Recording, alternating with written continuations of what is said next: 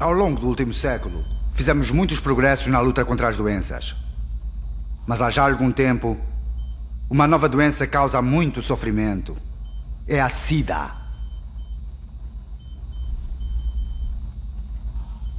Não temos ainda a vacina contra a SIDA, nem meios para a sua cura. Mas há métodos simples e eficazes para nos proteger, como irão ver na história que eu vos vou contar. Isso acontece num mundo infinitamente pequeno e invisível a olho nu. Um mundo que podemos ver só através do microscópio.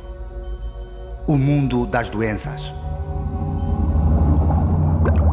Neste mundo das doenças, como no nosso mundo, há também aldeias onde as doenças vivem, ou seja, os micróbios que as originam.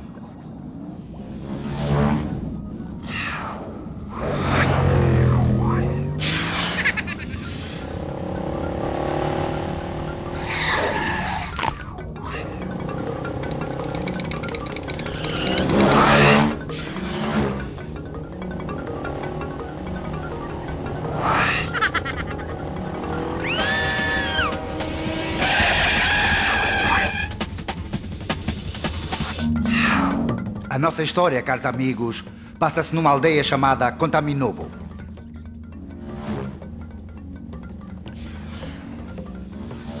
Saia, glóbulo branco! O chefe é da poderosa família Tuberculose. A aldeia abriga as famílias Pólio, Sarampo,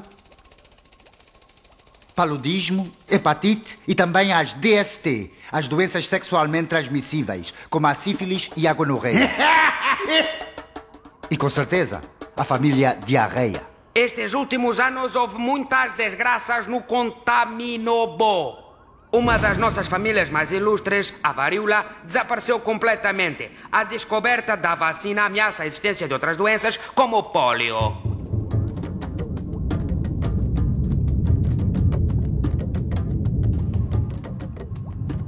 Oh? Oh? Ah.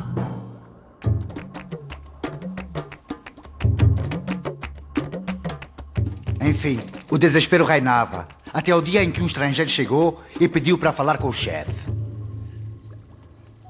O estrangeiro e o chefe tuberculose passaram a noite toda a conversar.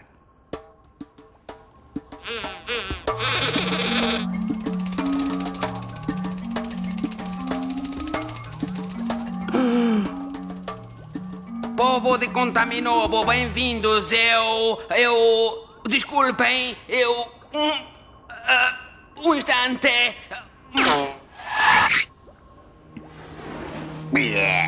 Uh, Bem-vindos ao palácio do chefe tuberculose, cuja crueldade causou muitas destruições. Povo de Contaminobo! Que a doença esteja convosco! E, contigo, também. Nós hoje estamos aqui para falar dos projetos guerreiros da espécie humana.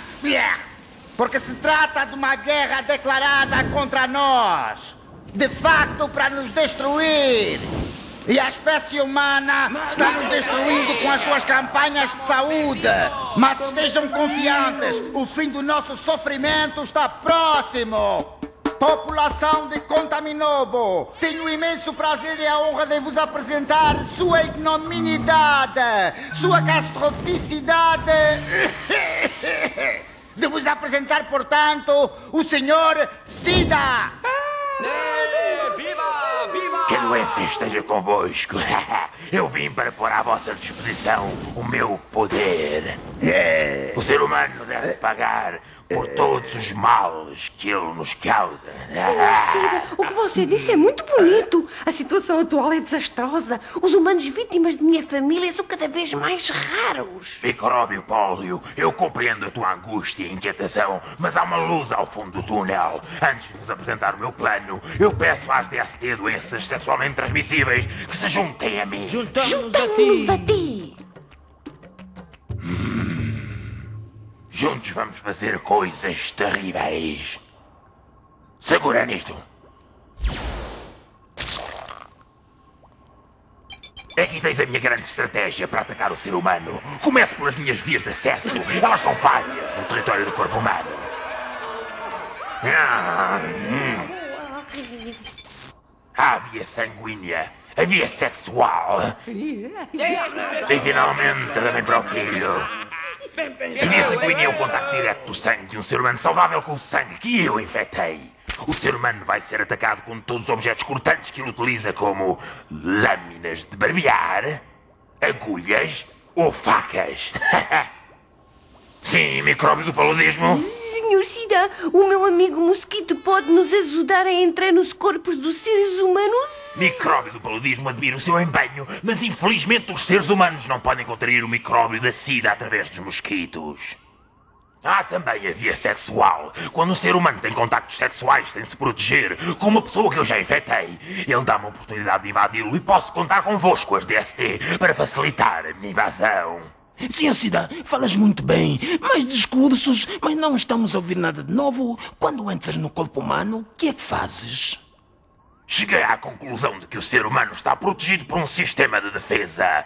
Por exemplo, os glóbulos brancos circulam no rio sanguíneo, matando os nossos irmãos e as nossas irmãs. A minha especialidade é destruir este sistema, tornando o ser humano vulnerável. Este sistema de defesa é um verdadeiro pesadelo. Podem instalar-se tranquilamente e causar mais cedo ou mais tarde a sua morte. Diremos que a SIDA acaba de fazer uma nova vítima, mas na realidade vocês são os vencedores. Senhor Cida, o ser humano que pensa ser o mais inteligente de todas as criaturas ainda não descobriu como evitar-te. O único meio, volto a dizer, o único meio para me evitar é a prevenção.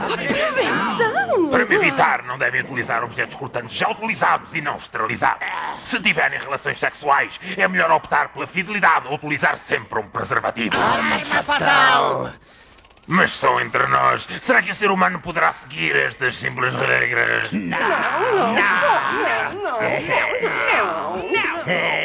População de Contaminobo! Que tudo o que foi dito aqui sobre a prevenção fique entre nós! Bico calado! Então, caros irmãos, que cada um fique no seu lugar. Trabalhamos juntos e juntos venceremos. Vou-me embora. O trabalho espera-me.